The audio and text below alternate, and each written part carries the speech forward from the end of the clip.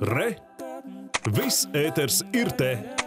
Lai saprastu, cik daudz un kādā veidā mazināt, eh, no sākuma ir jāsaprot, cik liela apjoma ogliskābās gāzes Latvijā vispār izdala lauksaimniecības zemes un arī to apstrādāšanas veidu. Un Latvijas lauksaimniecības universitātes vides un ūdens saimniecības katedras pētnieki veic šādus pētījumus. Kādi tad ir pirmie secinājumi? Pastāstīs kolēģis Uldis Birziņš. Klimata pārmaiņas rodas no siltuma uzkrāšanās atmosfēras zemākajos slāņos. Atmosfērā veidojas ūdens tvaiku un siltumnīca efekta gāzu slānis, kas neļauj Zemē atstarot saules uzņemto siltumu.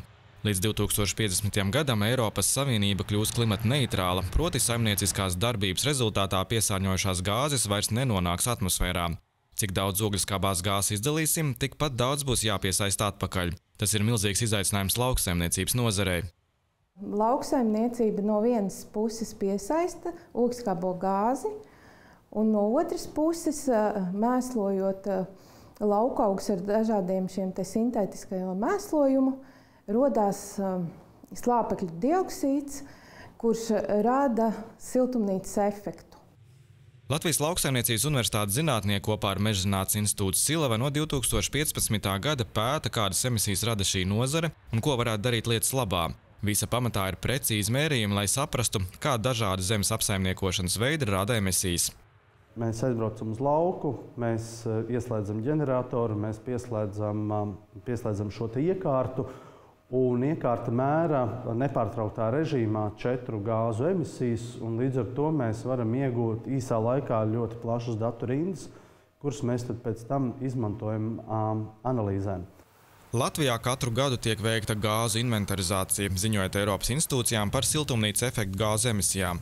Pārsvarā aprēķinos tiek ņemti vērā koeficienti, kur ir noteikti citās Eiropas Savienības valstīs. Tomēr ne visus šos koeficientus var tiešā veidā attiecināt uz Latviju. Pētījumi rāda, ka, piemēram, no izstrādātiem kūdras laukiem emisijas patiesībā ir divas reizes mazākas, kā tika uzskatīts līdz šim. Tāpēc arī nepieciešami vietējie pētījumi, lai saprastu, kāda emisija apjoma Latvijā ir un kur un par cik tos ir nepieciešams mazināt organiskās augsts, lielākoties tās, kas mums ir lauksaimniecībā izmantojamās zemēs, mums rada apmēram tikpat daudz emisiju, cik mums rada transporta sektors. Tie mehānismi, kurus mēs kopā ar lauksaimniecības universitāti mēģinām novērtēt skaitliski ar, mērīš, ar mērījumiem gan zemzemes, gan virszemes, tas ir uh, meža ieaudzēšana, kas šķiet nu, tāds efektīvākais risinājums šādās platībās.